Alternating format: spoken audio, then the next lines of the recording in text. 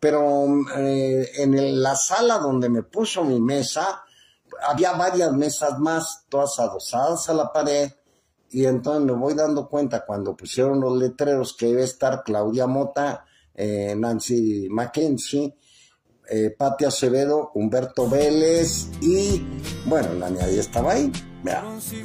No, ¿para qué les cuento? O sea, no quiero entrar en pormenores, pero se puso maravilloso.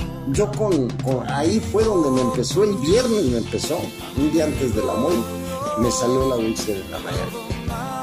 Unos dolores, pero canijos, pero yo la confundí, o sea, yo pensé que era una afta entonces me compré un Camca, que es un anestésico local.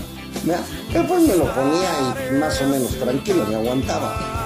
Como el que me pidió que yo inaugurara la mole, bueno, pues la inauguré, me puse la anestesia y a todas, ya saben que yo soy Entonces, eh, eh, ya, llegaron los Simpsons, grandes abrazos, grandes cosas, ya una conferencia de prensa. Estuvo muy bien, la verdad, yo estuve muy contento porque hemos formado una familia desde hace muchos años.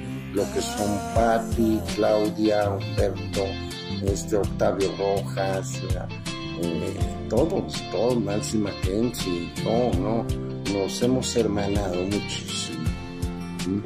Bien.